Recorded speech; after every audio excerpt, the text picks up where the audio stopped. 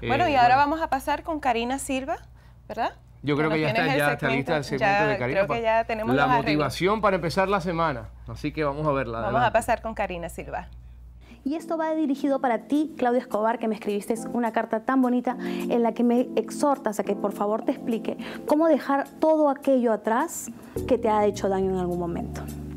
Yo hoy en la mañana estaba a punto de ir a prepararme un café cuando encontré un grupito de hormigas. Obviamente las iba a limpiar y aniquilar en ese momento, pero hubieron seis hormiguitas que me llamaron la atención. Estas seis hormiguitas estaban muy, se les veía muy capacitadas llevando en sus tenacitas unos pedacitos de pan. Claro, organizadas, trabajando en equipo, ayudándose mutuamente. Ellas sabían que tenían un propósito. ¿Cuál era? Tener su pan para el día que les falte. Así como esas hormiguitas podemos aprender de otros animales. Por ejemplo, el águila. El águila nunca va a dejar que alguien lo moleste. El águila vuela, vuela muy alto hasta que se siente tranquila, estira las alas y se pone a planear ella sola, a vivir una tranquilidad de tal manera que nadie, absolutamente nadie, la pueda molestar. Eso podemos hacer nosotros también.